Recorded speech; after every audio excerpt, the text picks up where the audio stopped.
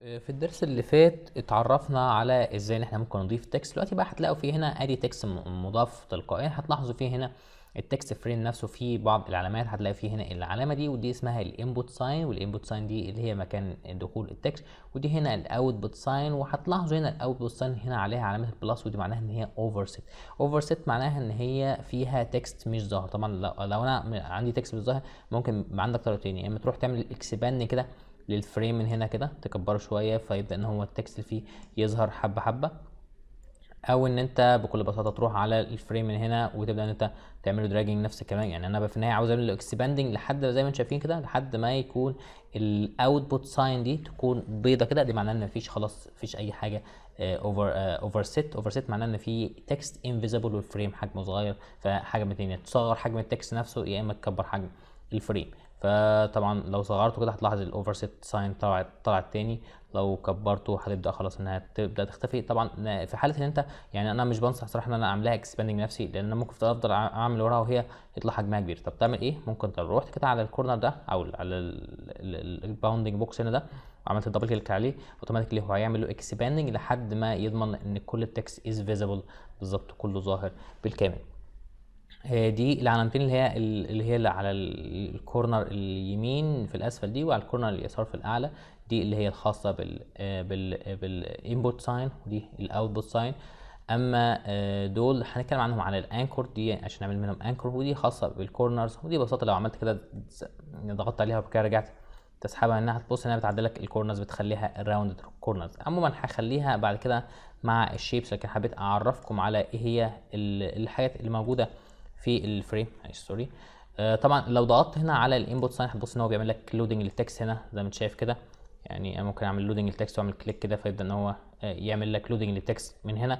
بس أنا هتراجع عنها عشان ما بوظش الدنيا. ولو ضغطت هنا كمان كده برضه هتبص هنا عمل لك loading لو حبيت أنت تعمل- لها disable أو عملت لها loading بالغلط مثلا آه، ممكن أنت تعمل escape بعد كده عشان يعمل لها close يعني لو in in case أنت ضغطت عليها بالخطأ كده هيعمل loading ليها escape عشان تعملها disable زي ما انت شايف بالشكل ده كده.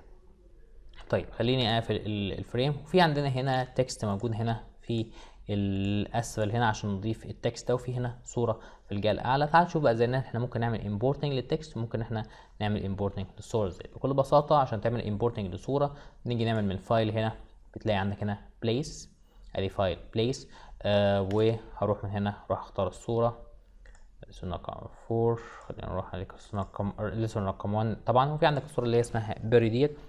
ومبدئيا مش عاوز أعمل select لأي option من ال options اللي موجودة هنا. يعني أي option قدامك هنا آه، خليه disable كده أو خليه unchecked وبعد كده هعمل open فيبدا إن هو يعمل لك loading الصورة زي ما أنت شايف كده قدامك. وهبدأ إن أنا الصورة أعملها drag و drop كده آه، drag زي ما أنت شايف كده drag أعمل لها dragging في المكان اللي أنا عاوزه. بالشكل ده كده. طبعا لو سحبتها أكتر كمان هتبص إن ال frame هنا بي- بيكبر في حين إن الصورة نفسها حجمها ما بيتغيرش. ده هنتكلم عنه بإذن الله في الدرس القادم.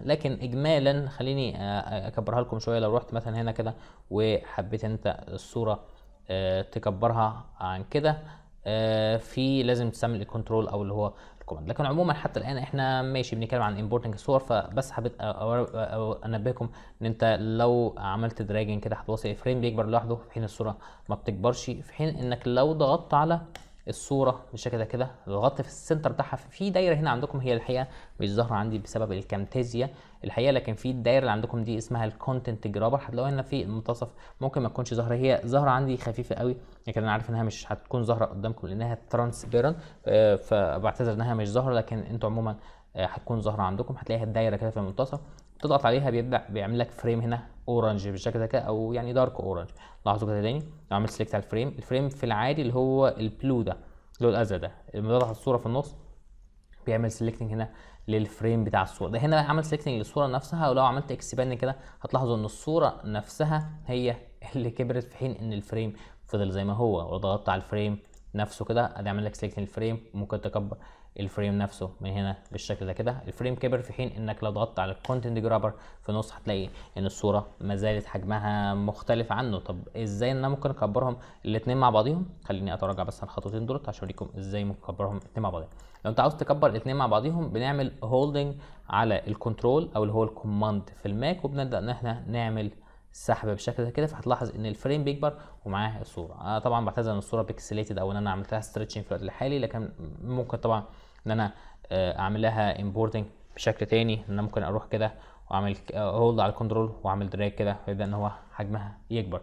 آه يعني حبيت أوريكم إزاي إن إحنا ممكن نعدلها. فلو حبيت تكبر ال frame ال frame مع الصورة بنعمل hold على ال control وبنبدأ إن إحنا نعمل dragging بالشكل ده كده فبيكبر أو يصغر ال- ال frame آه، معاك بالشكل ده كده.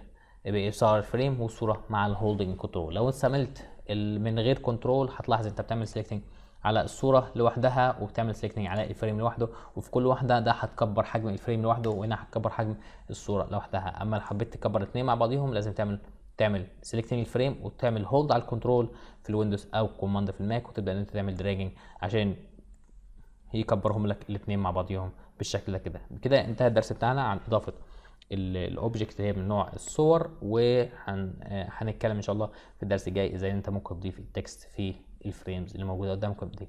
آه بس في حاجة عاوز أضيفها كمان للصور بس هضيفها في الدرس الجاي إن شاء الله. آه شكرا في الدرس ده عموما. آه أتمنى إنه يكون عجبكم وهكلمكم في الدرس الجاي إن شاء الله إزاي أنت ممكن تجهز الصورة بشكل أفضل من كده. شكرا وأشوفكم في الدرس القادم إن شاء الله.